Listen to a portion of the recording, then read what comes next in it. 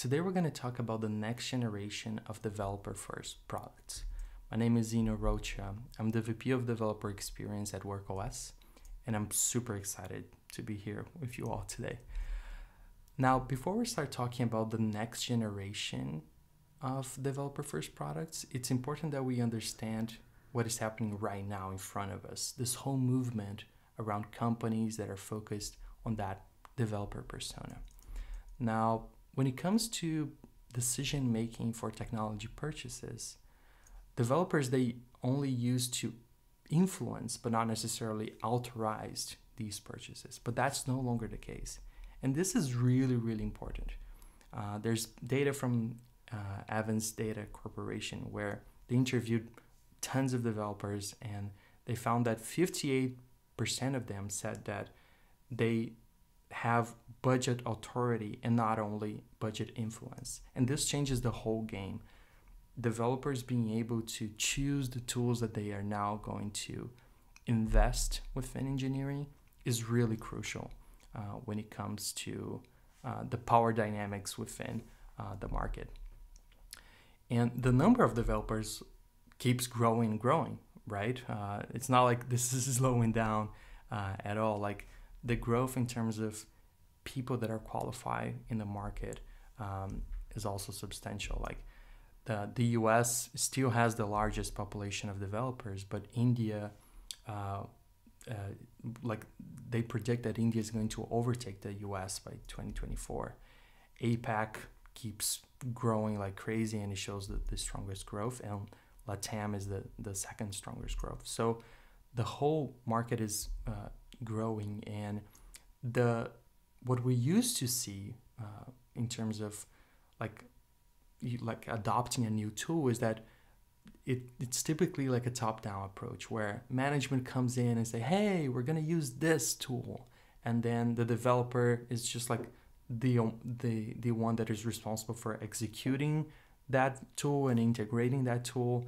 And what ends up happening is that there's less ownership right? Like whenever there's a top-down decision that comes in that's what typically happens. There's not enough uh, engagement.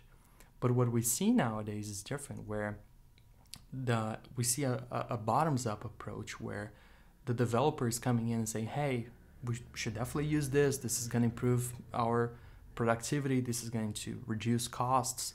Management evaluates that decision to see if that's the, the best one. And this uh, ends up with way higher ownership uh, than before. And that difference is, is really substantial to the growth of developer first products. Now, let's talk about those different generations, right? I would say maybe the, the, the first generation started like around the, the 2000s. There's definitely products that came before that that were focused on developers, but let's uh, start from uh, the, the year 2000 to 2009.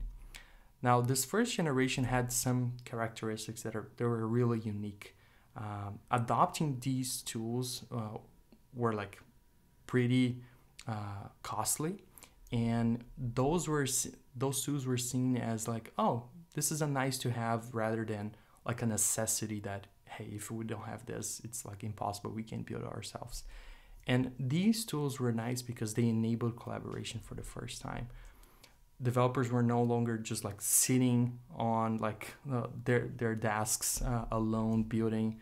Um, now this was a, an effort that uh, more people were involved in general.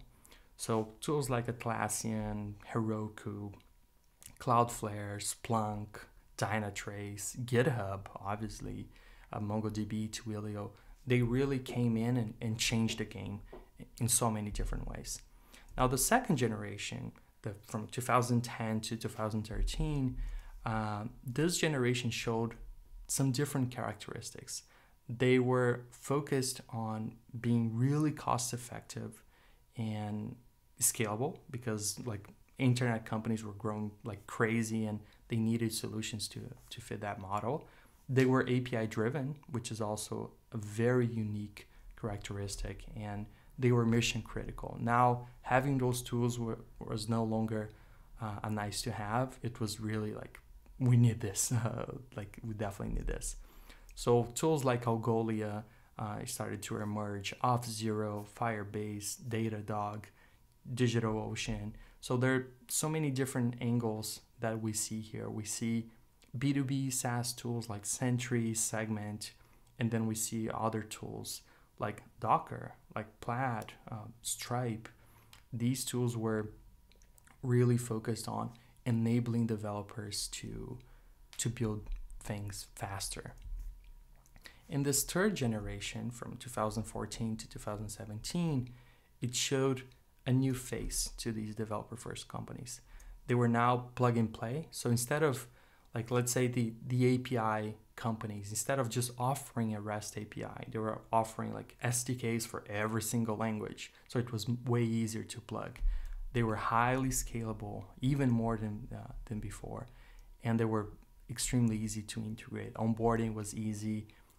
The go live was easy. Like everything around the integration aspect uh, was a self-serve experience rather than having to talk to sales or contact like the the get the enterprise plan or something like that.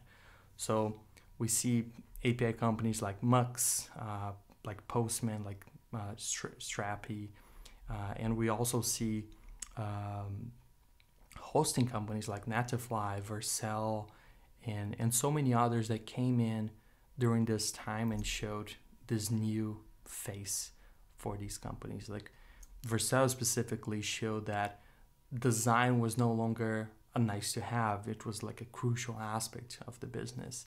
And every little tool uh, that we see here uh, demonstrated something different. And but what about the next generation? What about this upcoming generation of developer first products? What do they bring to the table? Definitely the the ability for you to go to market faster. Uh, that's something that everyone wants. Like as an individual developer, you want to launch your MVP as fast as possible. Or if you're working at a big enterprise company, you also want to be able to ship products and, and get them in front of users faster. So this is a core um, identity of these products. They also leverage low code or no code, which is uh, crucial to enable non technical folks to also uh, be able to help and they are enterprise ready from day one. So instead of like just following that bottoms up motion where you're adopting like developers are adopting the tool and they're like using that and then eventually you start selling to the enterprise now this this this whole game has changed. Like you are able to be enterprise ready from day one. Now within those companies we can see linear. We can see raycast we can see PlanetScale those companies they are able to build tools for developers for the individual developers but also to extremely large companies from day one. And that's because they already leverage um, those enterprise ready apis which is what workos helps uh, by the way. So how can we create developer happiness? Now this is a crucial aspect because these companies are investing on that specific persona, but understanding how developers work is not something that uh, is intuitive for everybody. But we need to try to reverse engineer how developers think. And as a developer, that's not a, an easy job, but um, it's important that we map those things. And one of the the characteristics that um, it's really clear when we talk about developer tools is this cognitive overload that we have. Well, let me talk to you about a personal experience, right? I moved to California seven years ago and I bought my first car. And as I was driving in LA uh, and I had to park my car eventually, like there were all these signs that were like completely impossible to understand. Like it's so confusing. And this gives me like a analysis paralysis uh, type of uh, behavior because i don't know what to do. So i end up not even parking because i don't know if like can i or, or can i uh, or i can't. So the, there's this concept called the Hick's law that says that the time that it takes uh, to make a decision it, it increases with the number and complexity of these choices. So as we're building our products, we need to take that in consideration. The more options that we offer, uh, the more it's gonna take for people to really understand that and digest that and make a decision. So we need to be extremely simple and and put that on the forefront. If you go to Azure, for example, and you look to all the, the different products, and that's not only with Azure, AWS, GCP, like you're just like thrown with like tons of stuff like uh, on your face and now you have to to figure out okay what should i do? What product should i use? Uh, there's so many overlap between them and you don't really know how to integrate um, everything. Um, same happens with the heroku buttons. Uh, like that whole ecosystem grew so much where nowadays you have like 7000 plus. So let's say i want to deploy a ghost blog uh, this is an amazing developer experience because I can just click on one of those buttons and, and, deploy. But if you have many of those, then it gets really hard to decide like, oh, which one should I use? Which one is the most um, used one, most popular, or the, the, the, the better maintained one? And the crucial thing about uh, developer happiness is the focus on the little things. So there's this theory called the broken window theory. And if you're not familiar, uh, this came from a, a former um, New York City mayor. And they, they said that obviously murder and graffiti, they're two vastly different crimes, but they are part of the same continuum. And a climate that tolerates one is more likely to tolerate the other. So yes, like those things are completely different and you should definitely treat them differently. But if you are like making exceptions um, and not really being on top of things, then um, you're gonna see like you're gonna tolerate uh, bad things. So this this theory basically uh, states that those visible signs of crime that happen in New York uh, on the 60s and 70s, uh, they would create more disorder.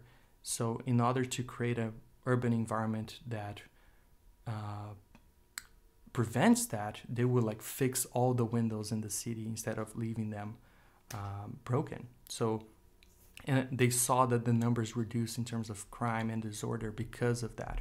So this is a really crazy theory, and uh, it really applies to, to to software development in general because if you think about it as we're like just building software and we like oh like maybe i'll address this later. Maybe i'll fix this bug later and you're now creating technical debt and all that. So um, this is the same for developer experience. Uh, like we can definitely uh, just focus on the big things, or we can look at every single interaction and evaluate. For example, the Sentry website, you have like that classic cookie banner, and you can just have like one of those the, the yes or no, accept the, the cookie banner.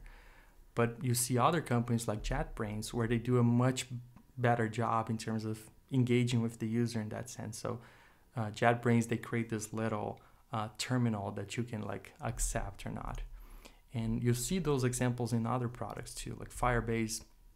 When you go to their documentation, they not only have the copy to clipboard or, or that classic thing, but they also have like a uh, theme uh, that you can choose and toggle, like a light and dark theme. As you navigate, they persist that change. Same with like when you change to Ruby to Python on the docs, and you go to another page, they persist that that option. So that's really cool. Um, another example is from the MonoLisa font. They give you all of these themes that you can choose. So it's not only about the light or dark, which uh, is uh, what you you would expect uh, from folks, uh, but they give you like the themes that developers are used to. In this case, Dracula, which is amazing and uh, like you can choose and navigate on that website using that theme. Another example that I love is on the Plaid website. You can actually make a fake request, and when you trigger that request, they show you the response, and you can navigate within the different objects on that response. So that's really nice.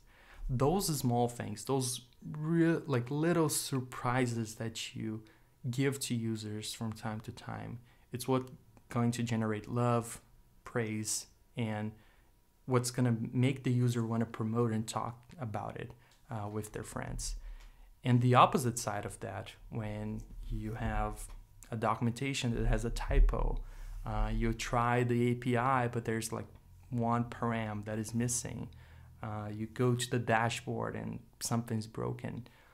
Those small annoyances they pile up, and the sum of those things is what creates distrust with developers or churn, uh, which can lead to like losing business, or uh, maybe the worst of them is indifference. Uh, when you're building a brand, the worst thing that could happen to that brand is indifference.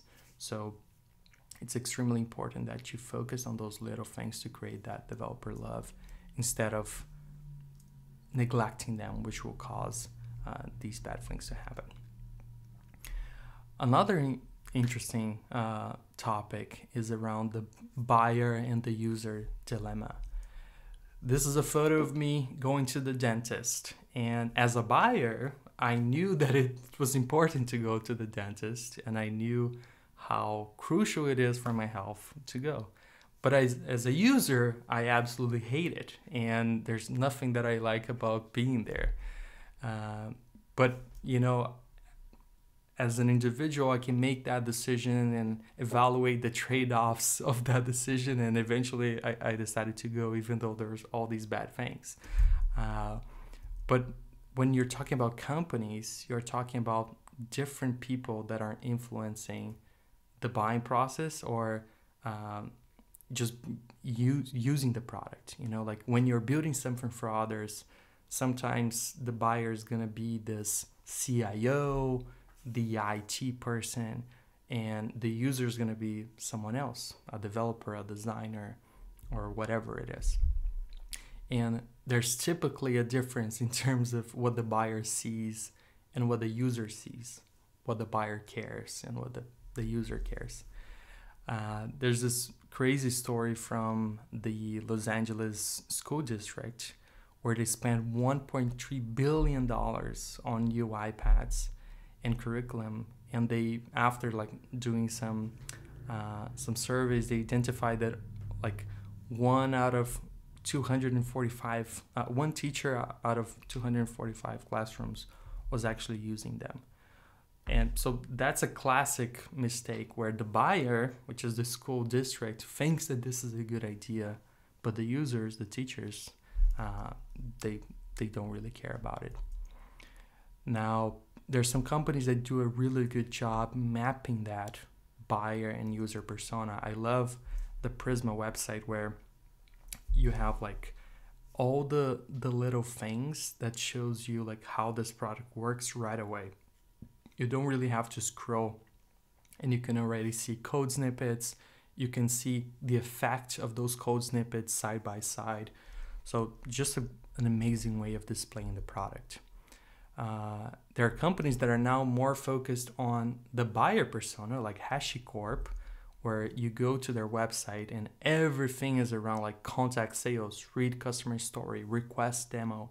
So the self-serve experience is, is more hidden and they're really targeting the CIOs, the CTOs, and, and those sort of people.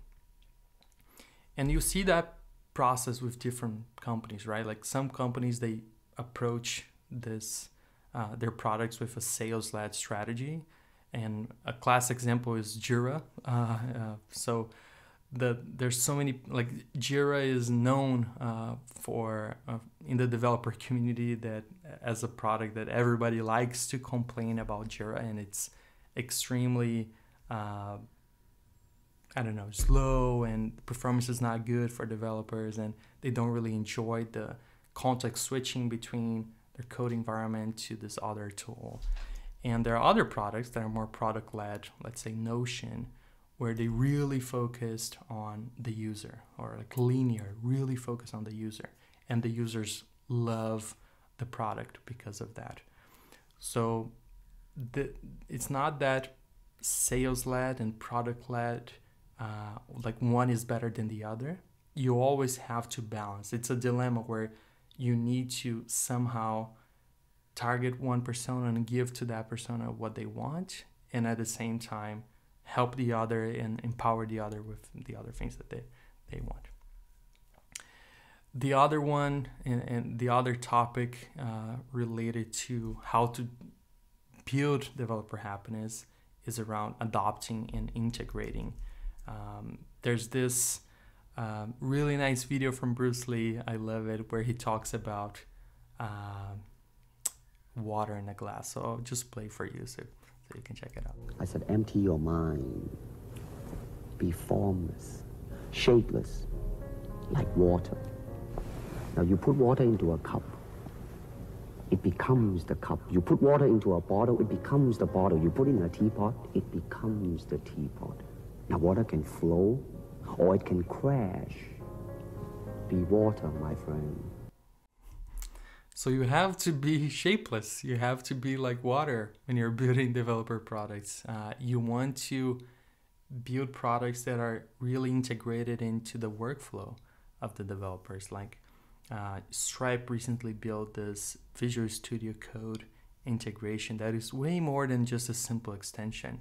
Uh, it allows you to trigger webhooks uh, from the the um, from your Visual Studio Code. It allows you to uh, they have like code snippets that you can use. So there's a lot of different things around this product that makes the life of someone who's integrating with Stripe easier, and so they don't have to leave their code editor to do it.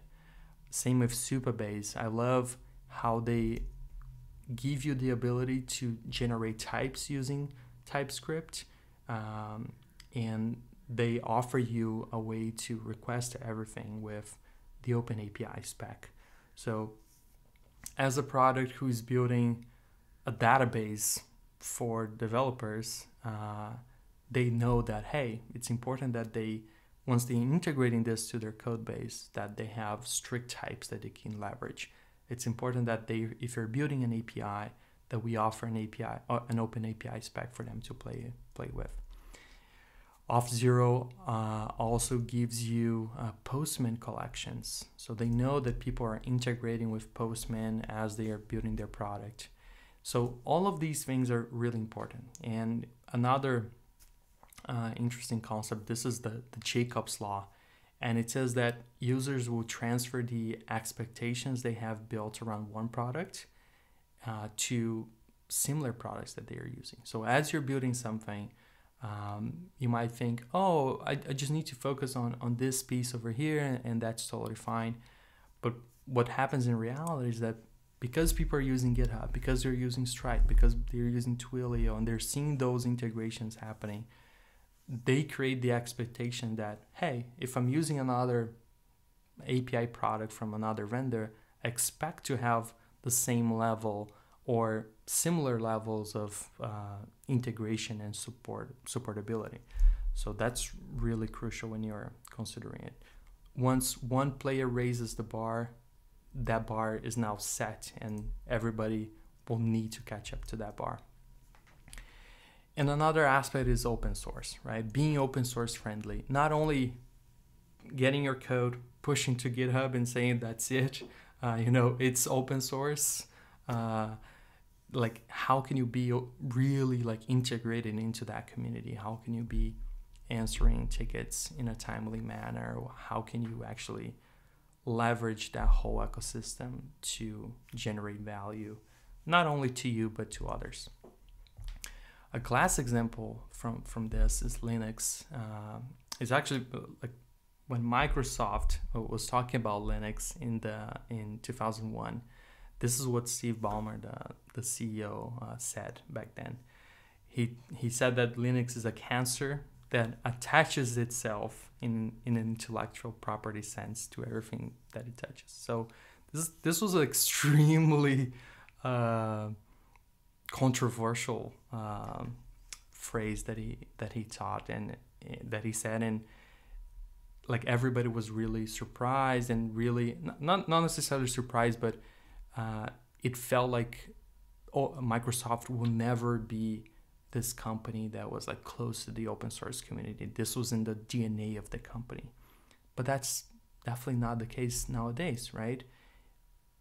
Microsoft built VS Code, they acquired GitHub, they acquired uh, NPM. So now Microsoft, that company that used to say that Linux and open source was a cancer, now they they are uh, the ones responsible for the most popular code editor with more than uh, 14 million users. They own the biggest package manager uh, for open source uh, packages with 10, 10 million users. And they have like the largest community of developers with more than 40 million users.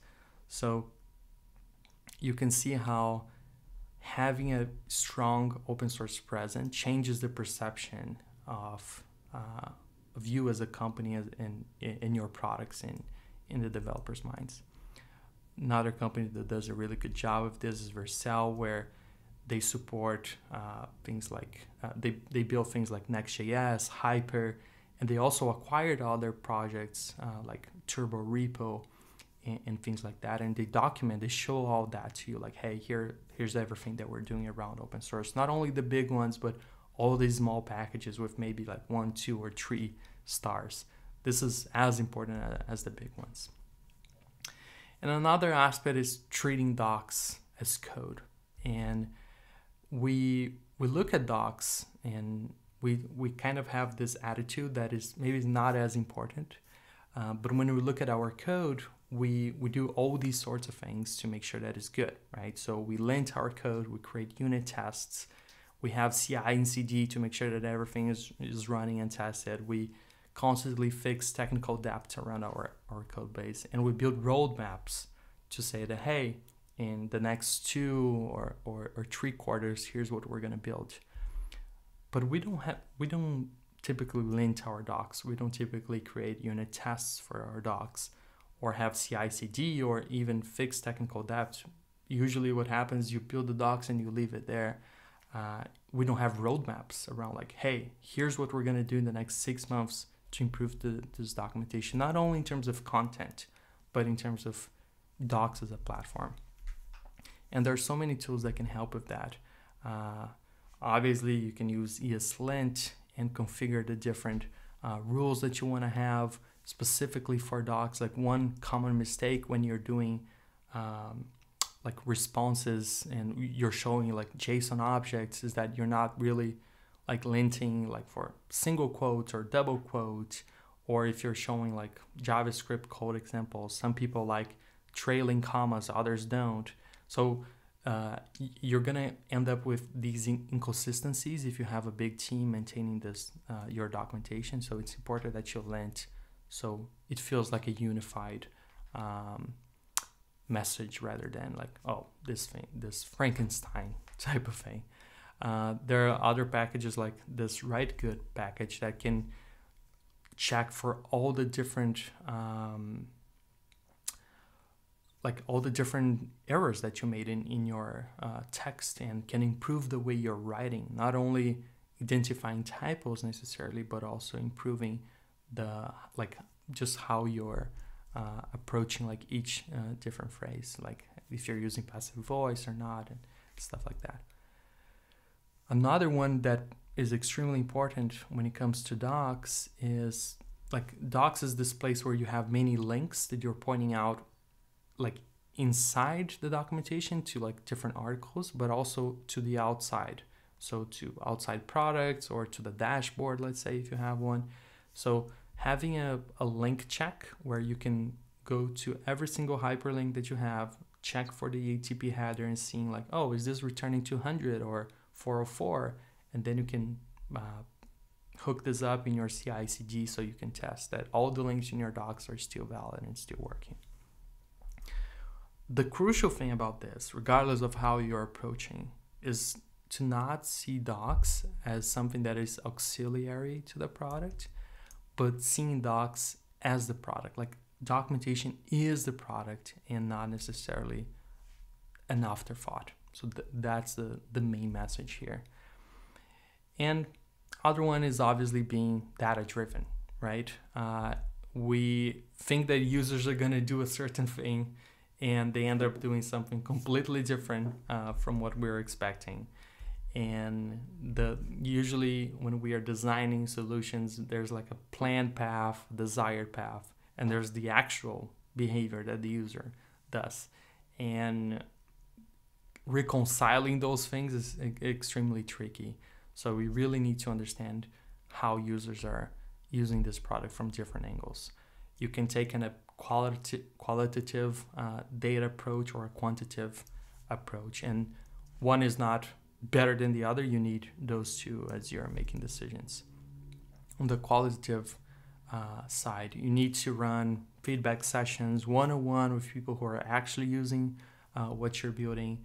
Sometimes having group discussions with like a, a set of users is important, and tracking that satisfaction over time is also important. Like this is a, a screenshot from uh, one of the, the process that we used to run where we would map every single stage of the user, how they were feeling on every single stage, and then what was the satisfaction level as they were going through that experience. And this just gives us some insights around like, okay, what can we improve on this particular one? What are the opportunities? What can we do better? And then we would just show like every screen of the product, and then we ask them, hey, if you had to improve this, what do you what would you do here? And we would give them like this fake money where they would say, oh, I would put like, so you have like a thousand fake dollars and now you're like prioritizing and helping the user prioritize. So this is really awesome. I think it, it works really well to not only get user insights, but also uh, help them prioritize so you can take that knowledge and, and, and digest that with the team. Another one is having a advisory board that you can check every quarter to see how things are going. You can announce features uh, with only that uh, specific group, and you can get feedback in a safe area. And it's really cool what you see when one customer is complaining about something, the other one has a similar experience, and you put that all together. We used to like present uh, two roadmaps ahead of the products that we're building to this uh, to this group so we can get feedback early on before we start actually building. And we would also track the satisfaction in, in this dashboard like, hey, here's all the data that we that we got. Now let's display them and let's see how we're doing over time. Another interesting aspect uh, is the quantitative side, right? Uh, I think it's the other one is more around like research and talking to developers, understanding uh, how they're approaching the product. But with this is more like just looking at the numbers. And uh, a good way to check are the support tickets that are coming in and trying to identify trends within uh, those numbers. Product usage, yeah, also extremely important. And one that people don't do as much is documentation usage. So with support, you can just look at the different products that you have and see, okay, like from all these tickets, like where are people complaining about? What are they really talking about? Uh, like what what can we improve? Uh, and you can see that maybe in one quarter people are talking a lot about this one issue but in the other one uh, not necessarily. So this will give you a lot of insight on wh- where to focus. They're, they're typically like paper cuts and quick wins that you can just extract from that and, and prioritize. Uh, we used to to have a cli and this was a dashboard that I created to visualize the different commands that we had within our CLI. So I, I could see every single like command that was being run uh, from users in a anonymous way. I could see the distribution of the version, even the operating system, so I can make a better decision around like what should we support. And this gives you an understanding not only of like what is being most used, but also what's least used. And that's crucial because you can come in and say, oh, this command, nobody's actually using the CLI command. Let's try to understand why. Maybe we can remove that. Maybe that's a feature that we thought would be helpful, but we ended up realizing that nobody really cares about it. Another example now related to the docs. Uh, so when I was building Dracula UI, one of the things I wanted to understand was like what were the code snippets that were actually helpful for people. So I integrated with Segment and I tried to like like put that data in and display that in a dashboard to see okay this is the code block that people are touching more. These this is the one they're they're not necessarily using it. And this gives you a lot of insight about the languages maybe if you have if you support multiple languages or multiple sdks so that's definitely a, pretty interesting approach. And i would say the most important thing about all that uh, that i've talked about is being developer obsessed. Um, there's one documentary that i love. If you haven't watched i highly recommend. It's called jiro dreams of sushi. And it's this 85 uh, year old uh, sushi master where he talks about like the way he approaches work and it just shows like the behind the scenes of, of this uh, three michelin star restaurant and it's just like super insane so i got a, a, a snippet that i, I want to play uh, to you just so you realize like how obsessed you can be when it comes to uh, to his craft, which is sushi. So we can take that to the to our craft, which is building products for developers.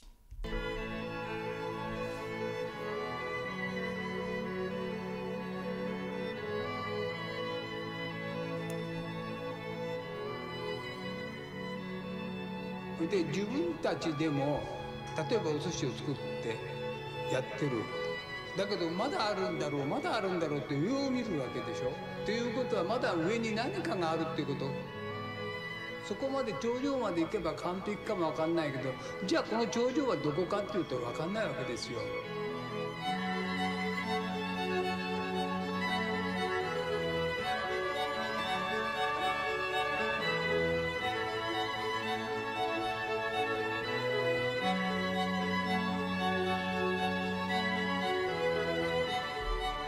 今仕事しててこの年になって完璧だとは思っていないからね。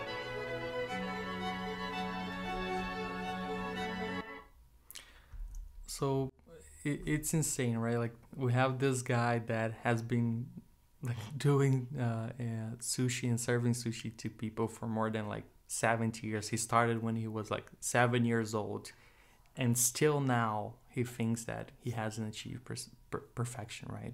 And that's the same approach that we need to have when we're building products for developers. We can definitely uh, have some like things that uh, work, but not necessarily are on that level of greatness that we want to achieve. Let's say with design, right? You go to the Braintree website, uh, which is an API for for payment, and it looks good. It's okay. Uh, it's a website that works. It's a design that works.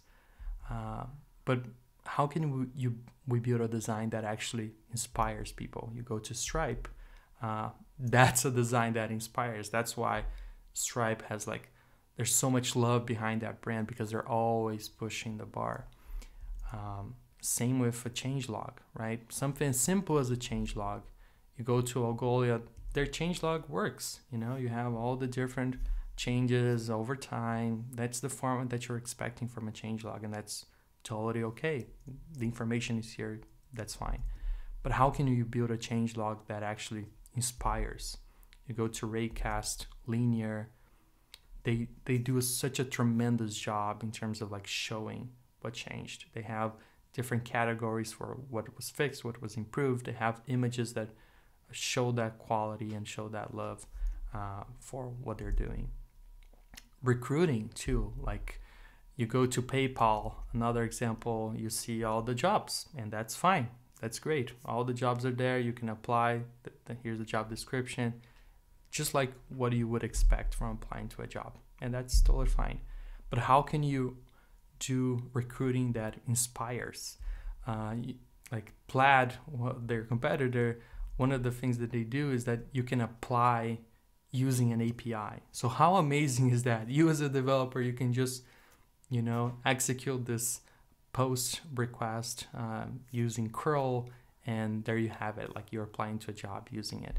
So think that's the core of everything, right? Like um, design is such a crucial piece. And as developers we may, we may think like oh no they only care about the the the like the actual thing that they're touching but that's not necessarily true. Um, users they perceive aesthetically pleasing design as design that is more usable. And that's something we need to take in consideration. When we are um, thinking about like uh, different needs of humans. I don't know if you're familiar with this, but uh, Maslow he created this hierarchy of needs, and it talks about like the different needs that you need you you have, right? Like there's the physiological need, uh, safety. If you don't feel safe, like you can really do anything. Then there's a feel of uh, belonging, esteem, and self-actualization. So these are the hierarchy of needs that he mapped uh, for humans. And if we think about that from um, from another perspective, uh, it's way different, right? Like, okay, physiological, food, water, sleep, safety, financial, personal housing, belonging. It's about friends. Esteem is about confidence. Self actualization is about like peace and knowledge and innovation. You can't really get to innovation if you have like everything broken uh, as a foundation, right? And that's the same with developer products. Uh, if we try to create our own DX or DevX hierarchy of needs, uh, it starts with the functionality, right? Like you need RESTful APIs, you need a, a standardized JSON response, you need an OAuth integration so you can make authenticated requests. Then we can start talking about things like re- re- reliability. We can start talking about uptime, latency or like if you are SOC 2 compliant or ISO 27K compliant. Um, you can't really talk about like building uh, fun little Easter eggs if you're having downtime all the time. So that's really important. And then we can start talking about the usability of things. Okay, how is our docs? How is our SDKs? What about the demos that we're showing? How is the change log? And then you can start moving up and thinking about the extensibility. Should we create a CLI? Should we offer a GraphQL layer? Should we have an open API spec available for everyone? Should we add webhooks on top of our REST API so whenever there's a real time update, we can trigger those? And then you can be more creative. You can offer free merch. You can offer like an API Explorer or, or just anything. You can go really crazy. But it's really important that you approach this from a from the fundamentals rather than uh, than just like doing these little things that you think is to cause impact but your foundation is broken and to be developer obsessed uh, you can never really settle if you're settle uh, you're doing it wrong and that's my message for you today i hope this was uh, useful. And if you want to reach out, uh, I'm always on Twitter. I'm at Zeno Rocha. And yeah, thank you, everyone.